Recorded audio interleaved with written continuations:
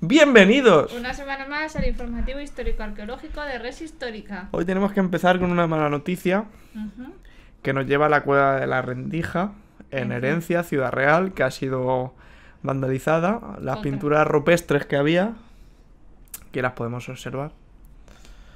Pues han sido dañadas. Ya tenemos otro caso de, de actos vandálicos en arte rupestre, con dibujos un poco fuera de tono. Y, y la verdad es que pues, es una buena noticia para abrir La administración de Castilla-La Mancha se está quejando de estos hechos, pero también es cierto que los podían haber protegido antes para evitarlo, para evitar que esto pasase.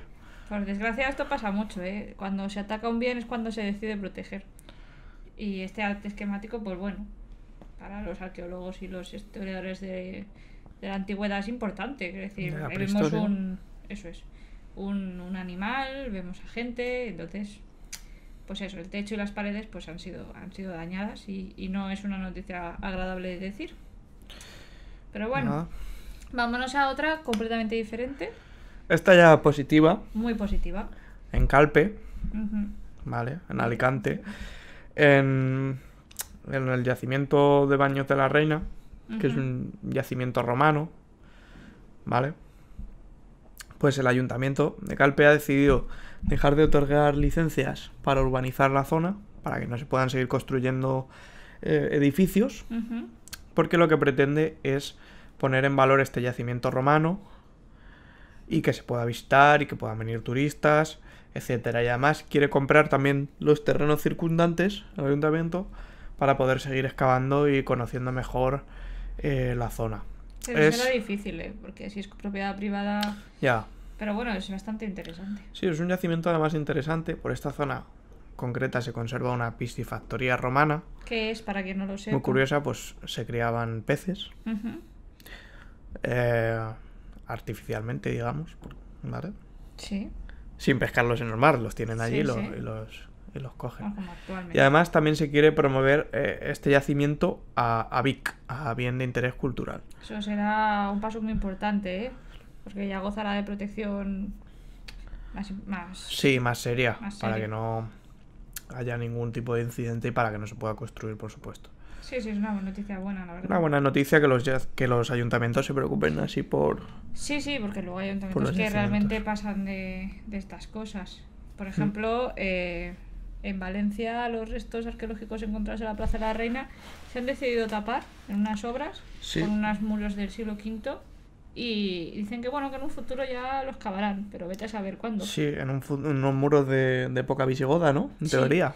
Sí, sí, bastante, bastante interesante, pero bueno, no prima. Hay ayuntamientos que tienen más interés y otros que no tanto. Lo que pasa que, bueno, Ya. para Calpe será bueno para el turismo y... Claro, y todo eso. esto al final favorece. Sí.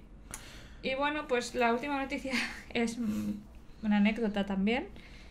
La verdad es que el titular engaña, ¿eh? Eh, parece ser que, bueno, ha salido un estudio en una revista de, de científica de Madrid en la que se encontró un tesoro el pasado mes de abril de época romana. Es un tesorillo, es el ma- mayor encontrado en la zona de Asturias, con más de 200 monedas, pues proceden de Tesalónica, de Londres, eh, bueno, de bastantes zonas. Y la- lo que pasa es que ¿De no qué lo época? encuentro- Ah, bueno, es del siglo, del siglo III y V después de Cristo. Vale. Eh, también hay monedas de Roma, de Arles, de Lyon, pero esto no lo encontró un arqueólogo, ni tampoco un profanador de yacimientos, que sabéis que no nos gusta. Lo que suelen llamar en las noticias un arqueólogo amateur. Amateur. Pues este es un arqueólogo amateur animal. Se trata de un tejón. Bueno, esa es la hipótesis, porque se encontró cerca de una madriguera de tejón y seguramente el animal buscando comida debajo de la tierra, pues encontró estas monedas. Casualmente pasó un señor por allí, en ese momento lo vio y llamó a la Guardia A Civil. ver si fue el señor. No, parece ser que fue el, el tejón. Era, era un miembro de la casa Hufflepuff, seguro, ¿eh? Eh, de Harry Potter. Y nada, la verdad es que ha sido es bastante curioso y este señor actuó bien, como siempre hemos dicho, que hay que llamar a la Guardia Civil. Y bueno, pues se han encontrado monedas de todo tipo, entonces es un buen descubrimiento accidental. Y este tejón, pues a lo mejor tendría que ser llamado arqueólogo. A ver si se estudian estas monedas Sí, en eso están. de la tarde antigüedad. Y ya está, esas son las tres noticias que os traemos esta semana. Son pocas, lo sabemos. Pero bueno, lo que hay. lo que hay, son las más llamativas. Nosotros no- tampoco nos vamos a inventar noticias. No, nunca. y ya sabéis, si queréis mandarnos alguna, de not- alguna noticia, nos la mandáis, nos escribís o lo que queráis. Hasta la semana que viene. Hasta luego.